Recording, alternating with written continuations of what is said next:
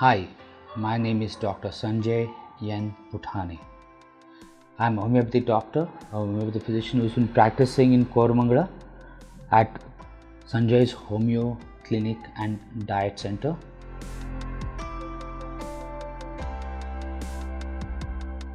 Yeah, if uh, you've had a flu and you say you have got cured of flu, uh, well, this continuous back pain and neck pain need not be because of flu.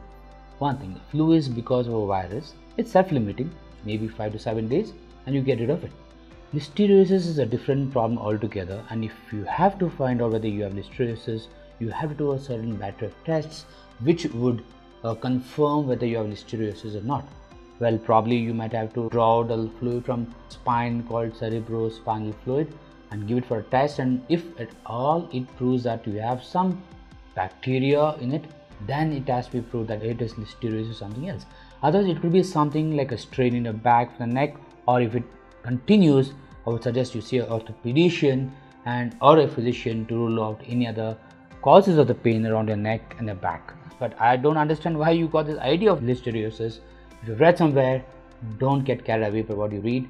If you have a doubt, please contact your physician. He will clear all your doubts.